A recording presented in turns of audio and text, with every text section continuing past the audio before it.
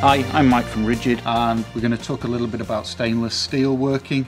Uh, we discussed in an earlier video about stainless cutting and we looked at two new tube cutters from ourselves. Tube cutting with a wheel and roller cutter is what we call in the trade a, a displacement cut. You don't actually remove any metal to form the cut, you push it and that's what this wheel does.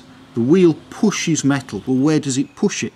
It pushes it into the tube, into the hole in the middle. Quite convenient, there's a hole there, we'll push the metal in there. So that's what they do, they push and displace the metal into there. Now that burr on the inside of the tube is a restriction to flow.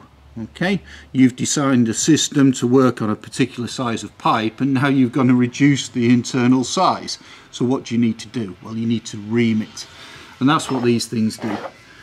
These are stainless steel reamers from ourselves. We've got two models here, the 233 and the 227S.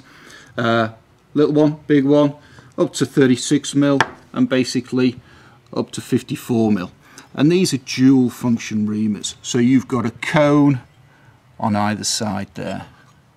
So the cone on this side is for doing the internal burr and you just simply turn those around and it nicks the burr out. If you've got a little burr on the outside edge, you use the internal cones here, put the tube in, rotate it and take the burrs off.